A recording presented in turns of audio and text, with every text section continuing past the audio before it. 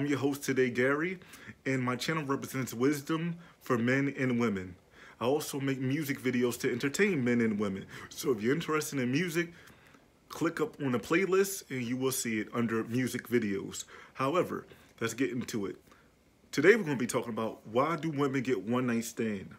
Think about that for a second. If you're a woman out there and you got one night stand and the guy's completely just ghost you and completely lost all contact with you immediately after you guys had sex. No phone calls, you call them, no nothing. Why do you think that is? Think about it for a second.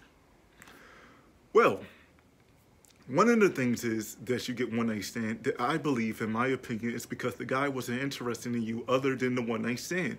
That's that's what he looked at you as a one night stand, and that was that. That's that could be possible because a lot of guys out there they, they, they can be really attractive to a woman and they have urges like i gotta get this woman i gotta get this woman i gotta get this woman i gotta get this woman. I'm craving this woman i'm craving this woman. For their own pleasure for their own pleasure that could be that. That's number one. Number two it could be because your hygiene. It could be because of your hygiene. Now i know we all work you know at least most of us, we all got jobs, we all work, we go to school, we go to the gym, and sometimes, some sometimes we slack. Not all of us, but sometimes we slack when it comes to hygiene.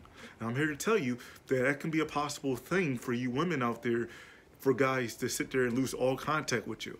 It could be your hygiene. You're not as clean as you think you are, possibly. And this is just my opinion.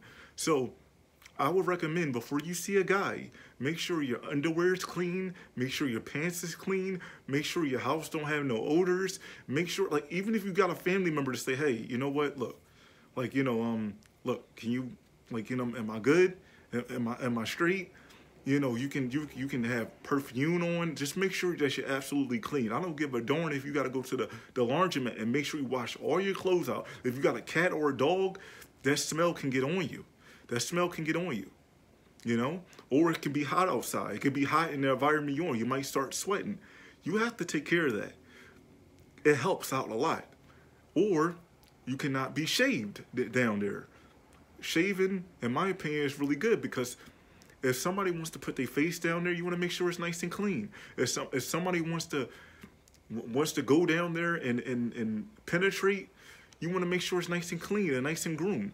It's just like a, it's just like a meal. You want to make sure your meal is nice and edible, is nice and clean. You don't want to make it look like it, it's been in a dumpster.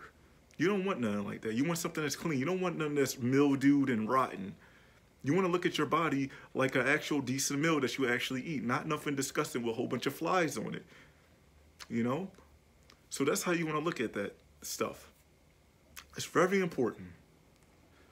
So that's the two things I think why women get one night stand.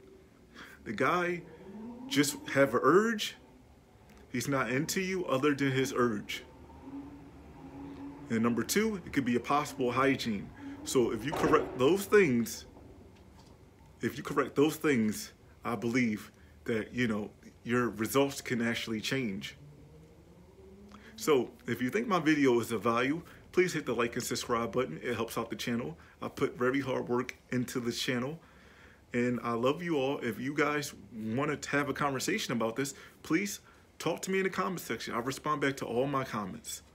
And whatever video you want me to touch up next about relationships and dating, whether you're a guy or girl or whatever you want to call yourself, let me know in the comment section. I'm here to accommodate you with wisdom as possible, why I'm living on this earth.